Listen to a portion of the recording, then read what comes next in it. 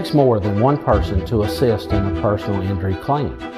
I am attorney Glenn Westmoreland, and we have a strong team at the Mack Law Firm. Well, Judge Beth Wolfe came to the Tangipahoa School Board talking about her campaign for the Court of Appeals bench. But you talked about drug abuse in the schools. That's a problem, although it seems to defy solutions sometimes. It really does. Um, we've tried to deal with it in drug court, in our adult drug courts, and Judge Blair Edwards has a juvenile drug court that helps people have tools to battle the addiction rather than just get into more crime. I ask you this question all the time. Are we making progress? I think so. At least we're helping that one person at a time, and the ripple effect is amazing. When somebody gets clean, the children, their parents, their friends, their bosses, they all come to graduation, and it's just a really heartwarming thing to see somebody change their life, and that can change the world. Do we have enough rehab in our area?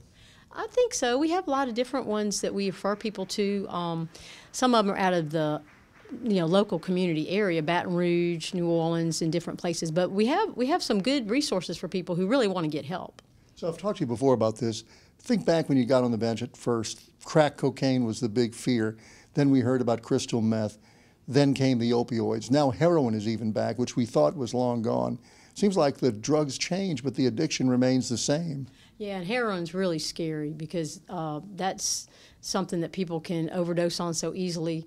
We've also found a few times if they're in jail and they're away from the heroin and then they get out, they think that they can take the same amount and their body can't as they did before they went in. And, and there's a lot of overdoses from that. And we see that all over the country. And even in some rural areas that are the opposite of what you would expect for the stereotype of an inner city drug problem.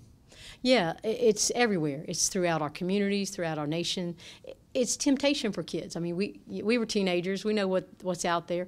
When I was a kid, it was cigarettes, okay, or maybe you know, there was alcohol, there was marijuana. I remember at the time. I didn't do any of that because I was uh, a basketball player and track runner and played tennis and played softball leagues in the summer at churches. So I wasn't tempted to do that because I didn't want it to affect my performance. And I've shared that with my children and my grandchildren, and hopefully, for the most part, they've they've heeded that. But not everybody has that background and that support from their church and from their family like I had. Uh, sometimes it's just the opposite. We have parents that are addicted, and their children see it and they get addicted addicted. And that's sad and that's tempting to people, and they get the addiction, and it's just hard to kick. What can you do about these problems, these everyday concerns on the Court of Appeals bench that seems, I don't want to use the word cloistered, but it's removed from where the action appears to be in the court system? Well, it, it is removed. Uh, what I'm doing now is in the trenches. It's the district court level where I see people every day in and out. Most of the time, I see people on their worst day. Uh, the Court of Appeals will be reviewing to make sure that the judge or the jury followed the law and followed the Constitution, and that's what I'd be doing on the Court of Appeal. So you're in a seven parish district running against one opponent who's from St. Tammany. You would think they're the bigger parish, in fact, twice as many people perhaps as Tangipahoa or Livingston. So is geography going to be a factor?